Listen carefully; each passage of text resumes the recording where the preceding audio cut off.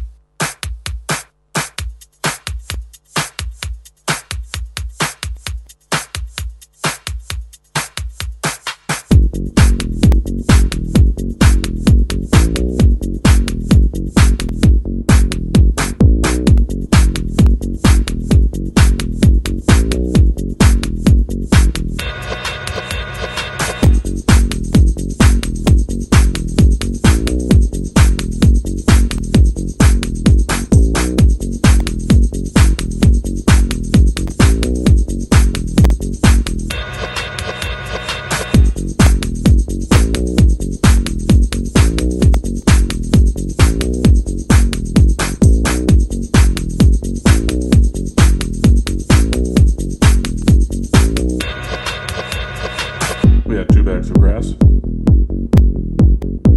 75 pellets of mescaline,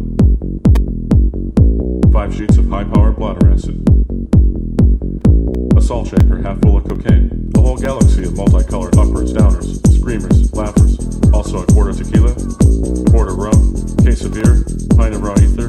and two dozen animals.